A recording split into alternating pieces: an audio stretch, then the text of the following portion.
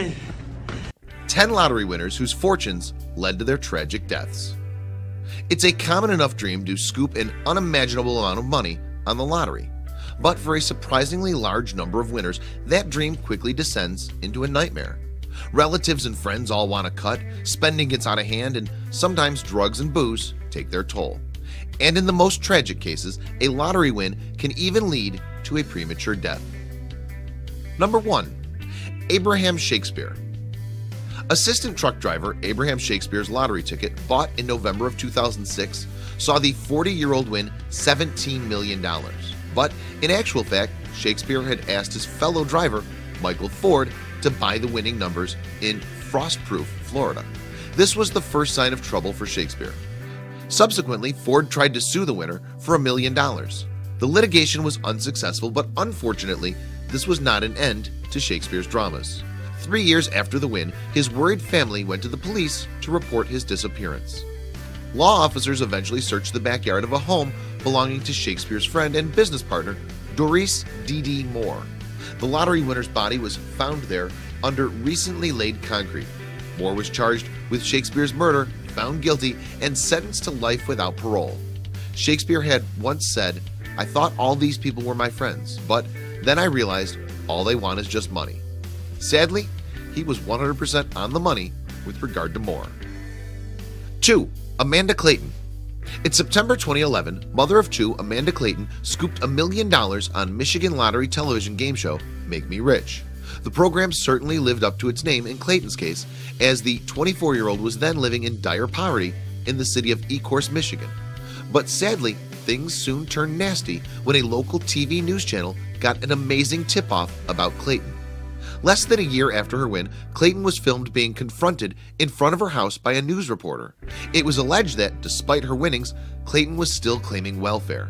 She did not deny the charge. Indeed, she was now officially charged with welfare fraud by the state and was given a nine-month probation for not declaring her winnings.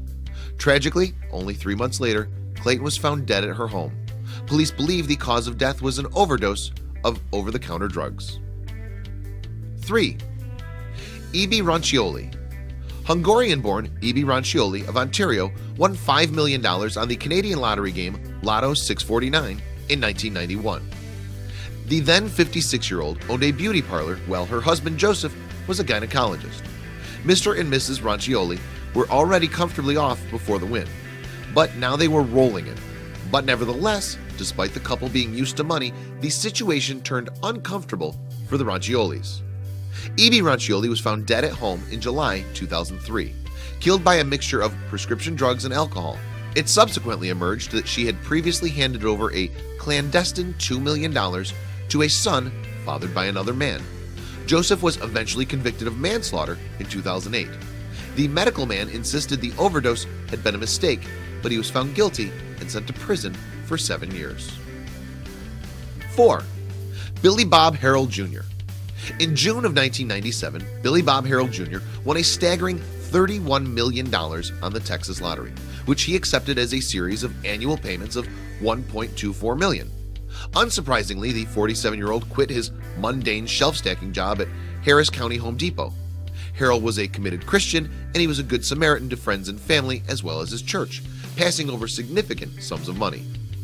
The paper multimillionaire bought a ranch for himself and houses and automobiles for various relatives. But then it all went sour, and Harrell's expenditures became uncontrollable.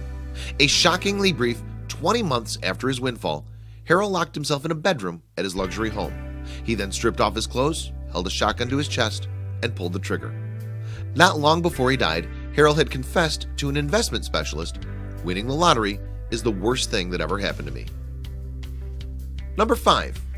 Gregory Burch Jr. Gregory Burch Jr. of Fitzgerald, Georgia was working as a forklift driver when he lifted the Georgia lottery jackpot of $434,272 in November of 2015. At the time, the 20-year-old told the game's organizers, I couldn't believe it at first. I was stunned. I'm still overwhelmed. Burch was living with his girlfriend and their three children at the time of his win. But just two months after his wonderful windfall, Burch was the victim of a terrible and brutal crime. A gang of masked thugs showed up at Burch's home and threatened him and his family with a shotgun. Burch offered them his bank card, but he was shot dead anyway. Police later arrested seven lowlifes and charged them with various offenses, including the luckless Burch's murder. 6. Arooj Khan In June of 2012, 46-year-old Chicago resident Arooj Khan bought a scratch card at a convenience store. He duly scraped away at the card and discovered that he had won a million dollars. Khan was already prosperous owning a string of dry cleaning businesses in his hometown, but this time he had really cleaned up. Subsequently, the Illinois Lottery reported that a jubilant Khan had shouted, I hit a million, but sadly, he was about to take a more fatal hit. Khan elected to take a lump sum and a check for $425,000 was issued on June 19th. But the very next day, Khan died unexpectedly. Initially, it was believed that natural causes had done for Khan, but a persistent relative was skeptical and pushed for a more detailed autopsy. Further tests from the coroner showed that Khan had died of cyanide poisoning. This naturally raised suspicions that the man who won a million could have been the victim of foul play. To date, no charges have been brought against anyone. 7. Keith Gough In 2005, a baker named Keith Gough and his wife Louise were well in dough when they won the equivalent of almost $12 million in the UK National Lottery. Unsurprisingly, Gow from the town of Bridgnorth in Shropshire bade farewell to the bakery and said hello to unbelievable newfound wealth. He and Louise now set about the serious business of spending their riches. The cash went on sundry items such as racehorses, high-performance cars, and, unfortunately, copious amounts of celebratory drinks. A couple of years later, the hangover had well and truly set in. Louise had left and Gough's drinking appeared to be out of control, leading to a stint of rehab. Speaking to UK tabloid The News of the World, Gao admitted, My life was brilliant, but the lottery has ruined everything. What's the point of having money when it sends you to bed crying? The former bakery's misery came to a sorrowful end in 2010, a mere five years after his big win. Gough died aged just 58 of a heart attack brought about by stress over money worries.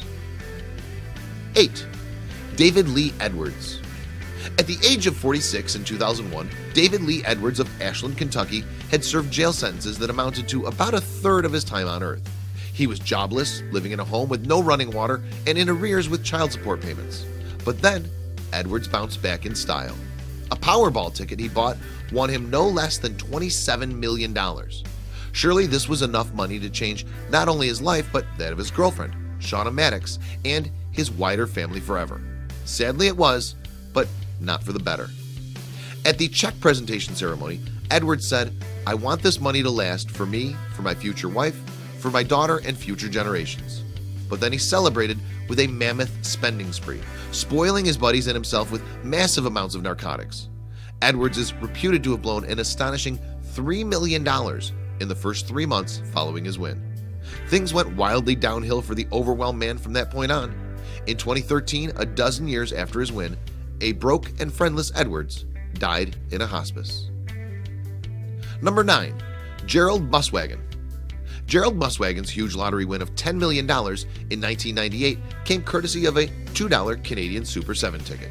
In time-honored fashion, Muswagon of Winnipeg in Manitoba set about spending his unaccustomed wealth in style.